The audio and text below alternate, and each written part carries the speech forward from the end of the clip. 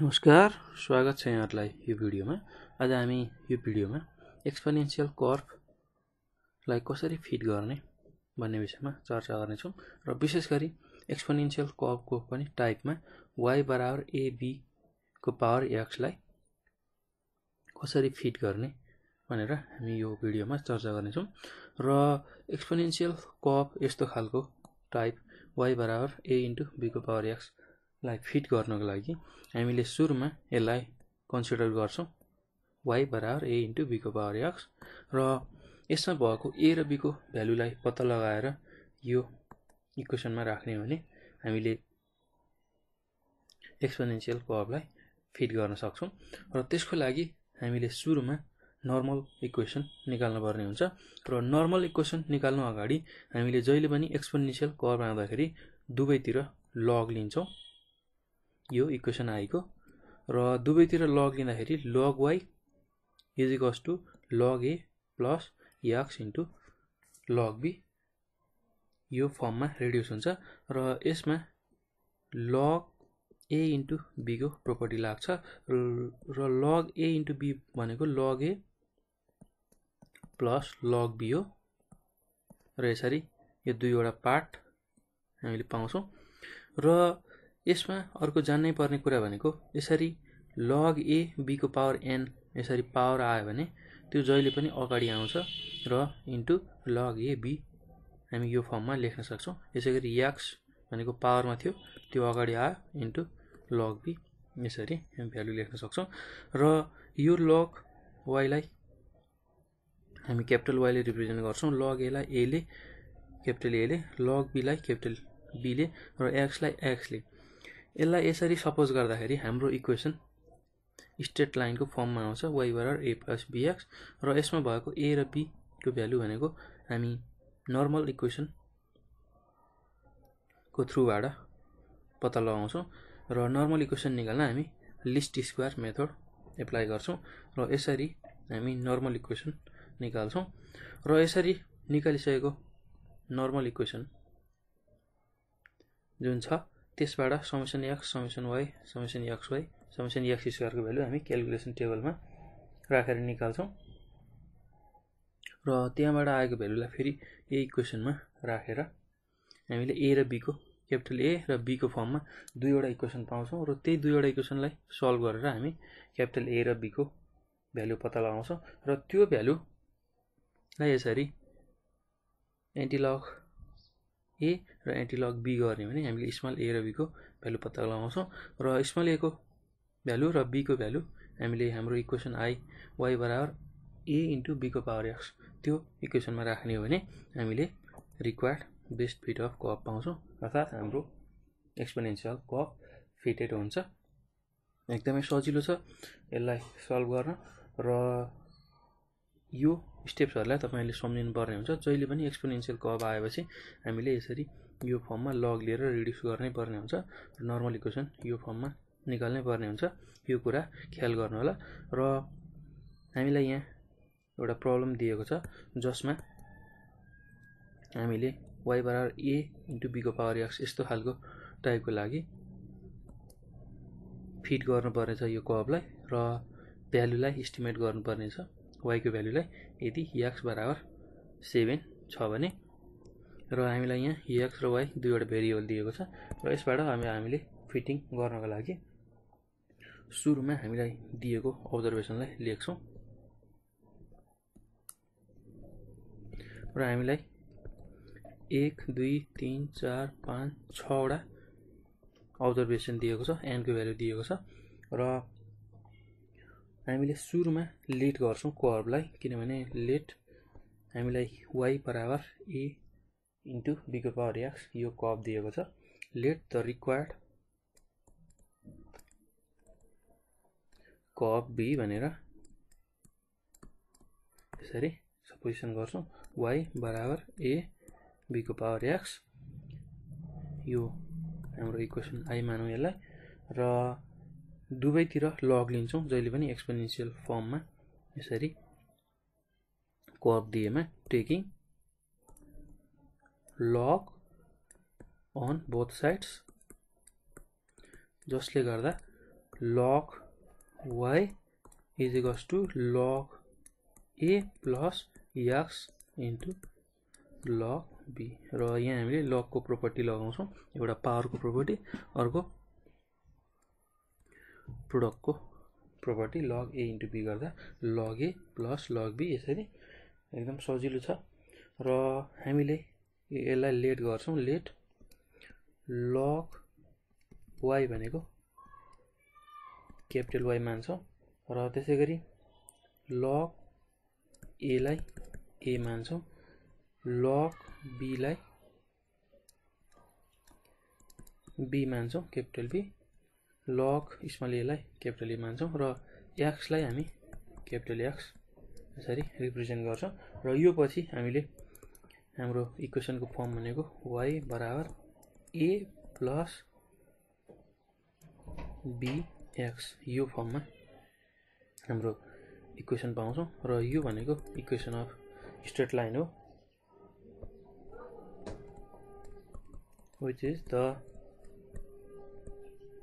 equation of straight line र यसरी straight लाइनको इक्वेसन पत्ता लगाइसकेपछि अब ए र बीको भ्यालु भनेको हामीले लिस्ट स्क्वायर मेथड लगाएर नर्मल इक्वेसन निकाल्छौँ र त्यही नर्मल इक्वेसनको थ्रुबाट हामी ए र बीको भ्यालु निकाल्न सक्छौँ र the values of constant a and b can be determined by solving following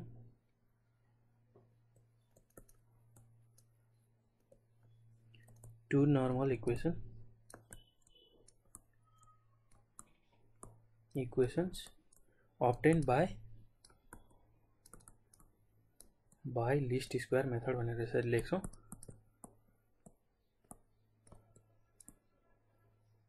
र हाम्रो नर्मल इक्वेसन भनेको summation y is equals to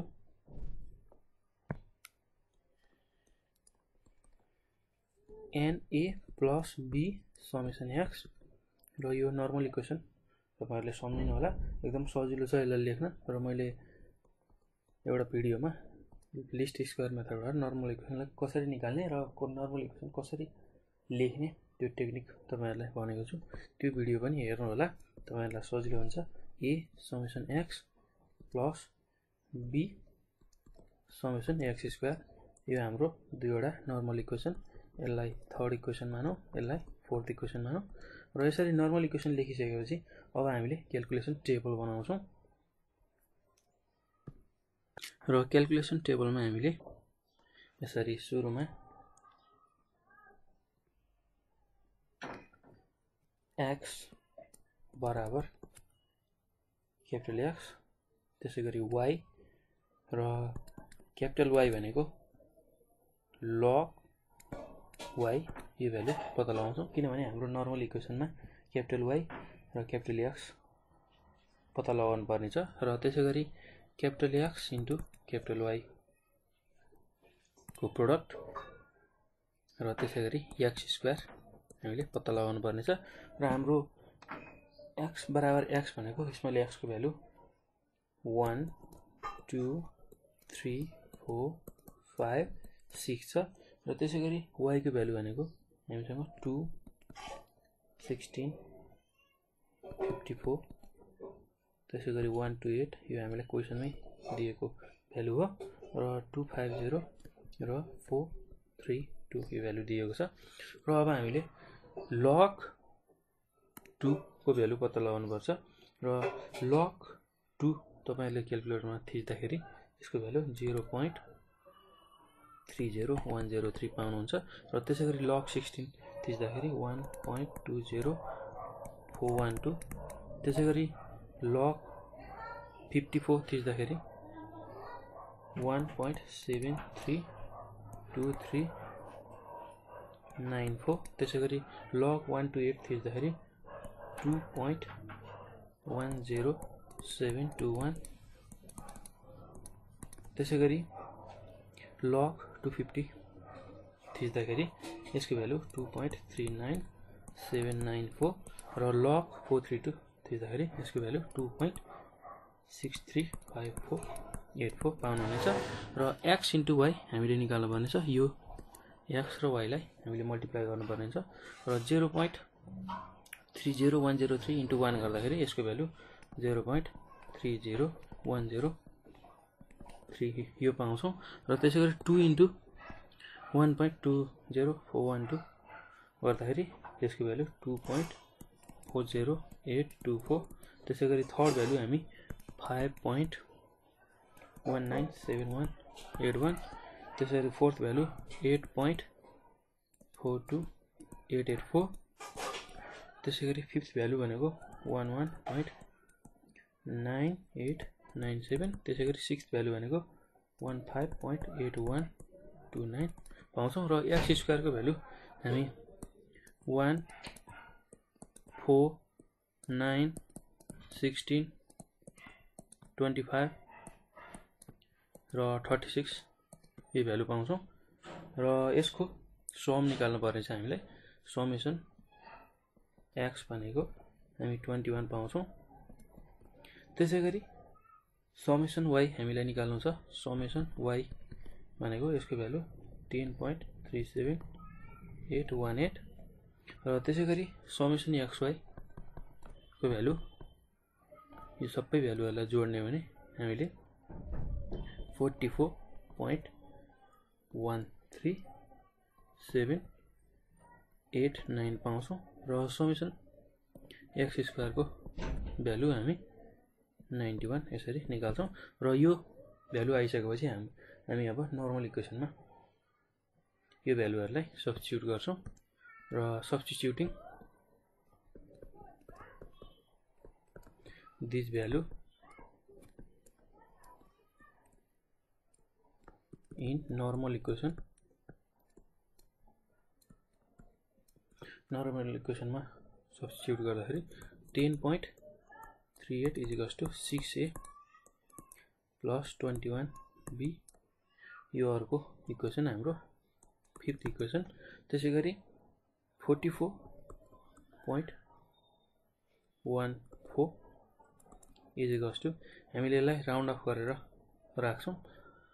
किनभने क्यालकुलेसन गर्न हामीलाई सजिलो होस् भनेर र twenty eight twenty one a plus ninety one b हामीले यो भ्यालु प्राप्त गर्छौँ र यो हाम्रो सिक्स्थ इक्वेसन हो र यो दुईवटा इक्वेसनलाई सल्भ गर्नको लागि हामीले इक्वेसन बीलाई हामीले सेभेनले मल्टिप्लाई गर्छौँ भने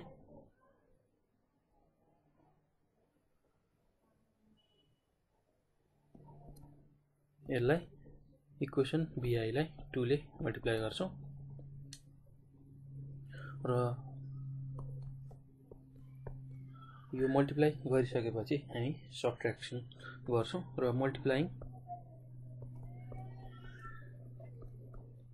equation b by seven and b i by two यसरी लेख्छौँ एन्ड अन सब्सट्रेक्सन र यो दुईवटालाई घटाउँदाखेरि हामी फाइनली एरबीको भ्यालु निकाल्छौँ. र इक्वेसन भीलाई सेभेनले मल्टिप्लाई गर्दाखेरि seventy two point six six आउँछ. Ten into ten point three eight into seven गर्दा र सिक्स इन्टु सेभेन गर्दा forty two a plus twenty one into seven गर्दाखेरि वान फोर सेभेन बी यो भ्यालु पाउँछौँ र त्यसै गरी forty four into point one four into two गर्दाखेरि हामी eighty eight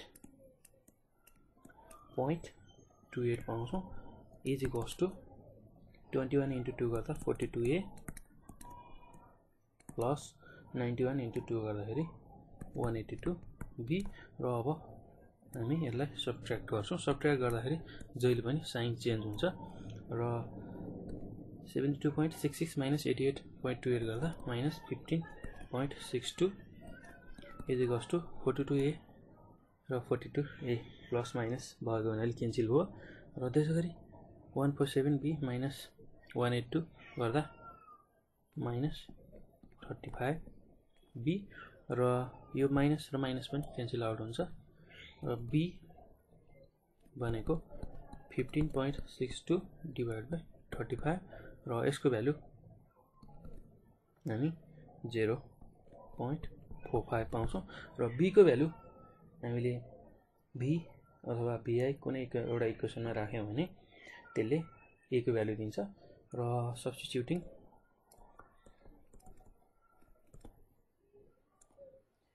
the value of b in equation b त्यो गर्दाखेरि ten point three eight is equals to six a plus twenty one into zero point four five र यसबाट एको value हामी finally zero point one six पाउँछौँ। र यो एको value आइसकेपछि अब हामीले फेरि स्मल एको भ्यालु निकाल्नु छ। र त्यसको लागि नाउ स्मल ए भनेको एन्टिलक अफ ए हो र एन्टिलक हाम्रो एको value zero point one six आएको छ र यसलाई क्यालकुलेटरमा थिच्ने भने हामीले वान पोइन्ट फोर फाइभ पाउँछौँ। र यो एन्टिलकलाई क्यालकुलेटरमा थिच्न एकदम सजिलो छ। तपाईँहरूले सिफ्ट लग थिच्नुभयो भने त्यसले एन्टिलक दिन्छ। र त्यसमा हामीले जेरो पोइन्ट वान सिक्स यसरी ब्राकेटमा राखेर इक्वल टु थिच्ने हो। त्यसले हामीलाई one point four five value दिन्छ। एकदम सजिलो छ। र त्यसै गरी बी पनि निकाल्नु पर्ने छ। एन्टिलक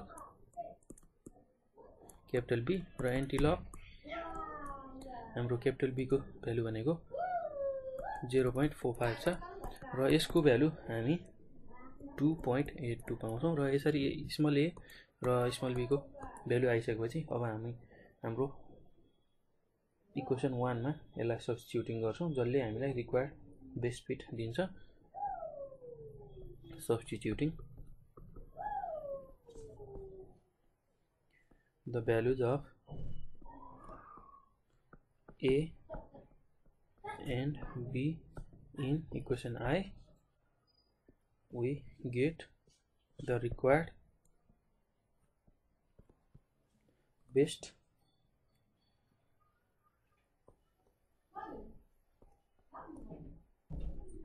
fit h y cap भनेर लेख्छौँ। इस्टिमेटेड अथवा फिटेड इक्वेसनलाई र वान पोइन्ट फोर फाइभ हाम्रो एको भ्यालु छ इन्टु बीको भ्यालु भनेको टु पोइन्ट एट टू छ यसरी र यसको पावरमा याक्स हामी यसरी लेख्छौँ। र यो निकालिसकेपछि हामीलाई फेरि याक्स बराबर सेभेन हुँदाखेरि वाइको भ्यालु निकाल भनेर सोधेको छ। Also when x is equals to 7 y is equals to 1.45 into 2.82 को पावर 7 र यो भ्यालुलाई क्यालकुलेटरमा थिच्दाखेरि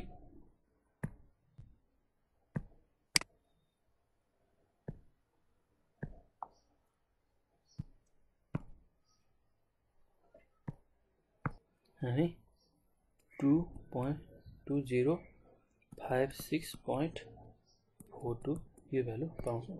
र यो इक्वेसनलाई हामी यसरी पनि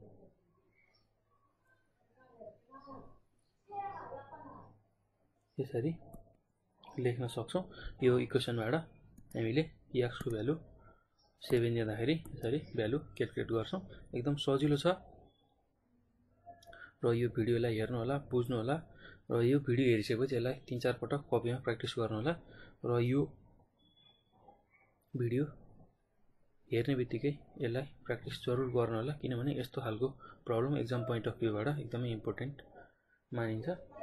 र यसरी वाइ बराबर ए इन्टु बीको पावर एक्स कपलाई फिट गर भन्यो भने हामीले यसरी इजिली यसलाई फिट गर्न सक्छौँ। एकदम सजिलो छ नातिकन तपाईँहरूले यसलाई गर्नुपर्ने हुन्छ। अलिकति लामो छ तर एकदम सजिलो छ र क्यालकुलेटर थिच्दाखेरि तपाईँले सही तरिकाले थिच्नुभयो भने एकदम मजाले यसलाई गर्न सक्नुहुनेछ।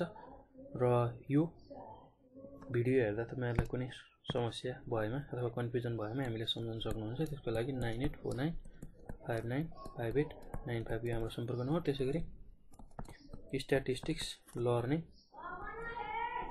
नेपाल यो हाम्रो फेसबुक पेज हो। र यसमा पनि हामीसँग जोडिएर आफ्नो जिज्ञासा समस्याहरू हामीले राख्न सक्नुहुन्छ। र हामी त्यसको समाधान तपाईँहरूलाई गराउनेछौँ। र यो भिडियो हेरिसकेपछि यसलाई लाइक सब्सक्राइब र सेयर गर्न नभुल्नुहोला। धन्यवाद।